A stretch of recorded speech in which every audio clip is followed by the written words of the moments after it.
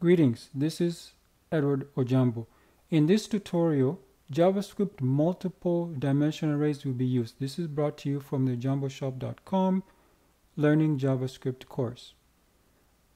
An array specifies a variable that can be indexed as a list in rows and columns.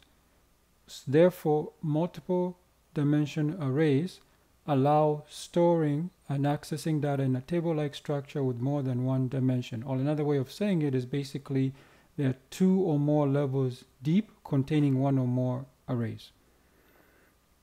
So in this sample code here, we there's a variable called students and use the squiggly brackets to have the index. So the first one is John underscore Doe. Then we have the name, surname, and age.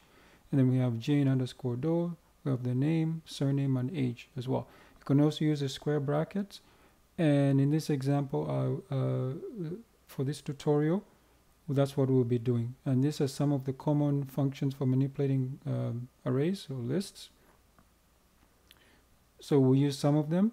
Uh, just remember that uh, oh, jamboshop.com learning JavaScript course web IDE will be used for this tutorial and also inspired this tutorial.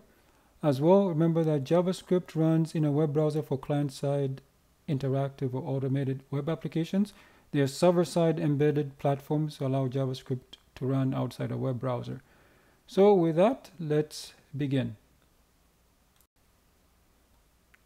First, I'll create a variable.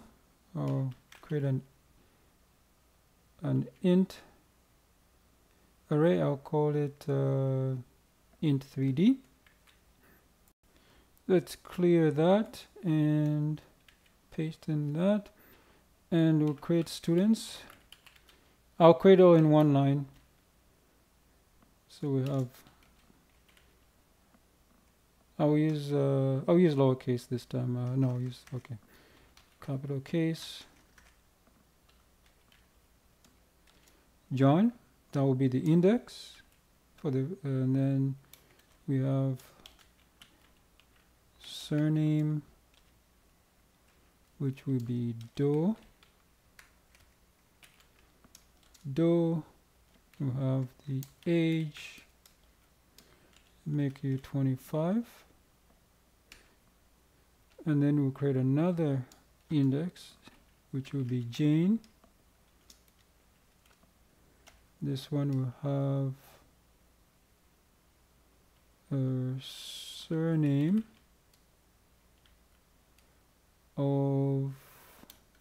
we'll keep it do as well. And then we'll have an age of 24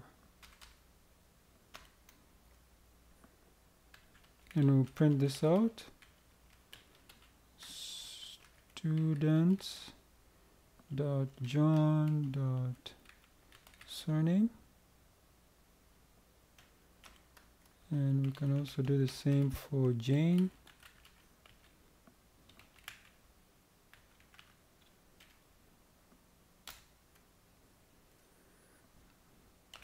Then we'll create a 3d put it on one line as well. 1 comma 2 comma 3 next one will be 11 22 and 33 last one will be um, and 333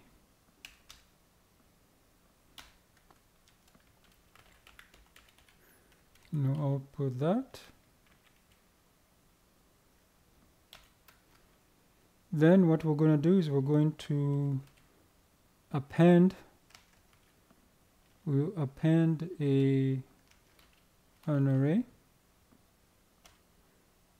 so it'll be 4 comma 5 comma 6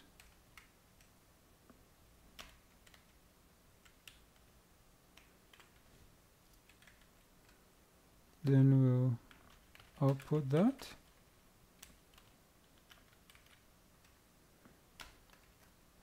Then we'll also, this time we'll append a row at a specific, a specified index, indice or index. We use splice. and we say 7 comma 8 comma 9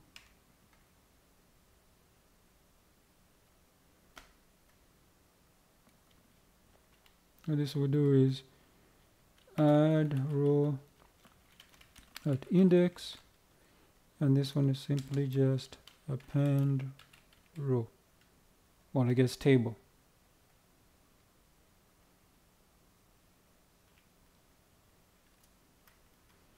okay then obviously we're going to print this out.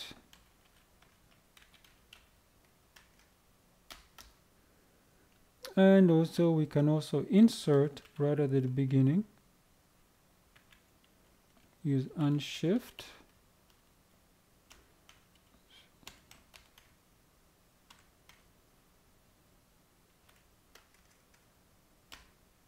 Oops so this will be insert row uh, beginning. Begin oops beginning. Hope that's how you spell it. Okay then we'll print it out.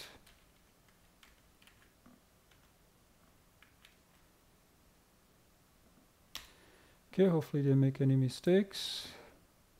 Space strings I made a mistake if I can figure this out quickly I'm hoping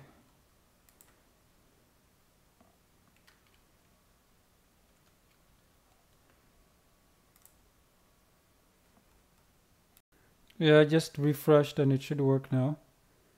If I go to compile, yes, here we go. So you can see Do, Jane, and these are all the numbers uh, we've done here. So you can go and see the full article at ojambo.com. I have everything you need here. There's the code snippets, the array functions we used today. We used all this push splice. You can use um, unshift. And uh, we'll talk about the learning JavaScript course here.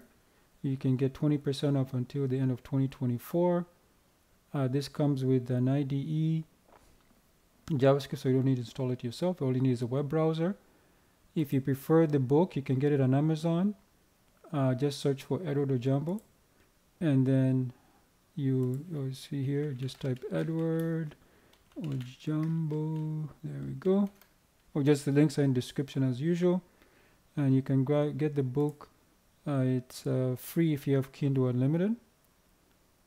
Or you can go to ojamboservices.com this is if you prefer to have one-on-one -on -one uh, tutorials. Ojambo Services.com also provides applications and uh, custom applications or websites. Uh, as you can see, you can use the direct dial anywhere in the world or this North American number, or you can go to the contact page, just fill in your information. We'll get back to you within 24 hours. Thank you.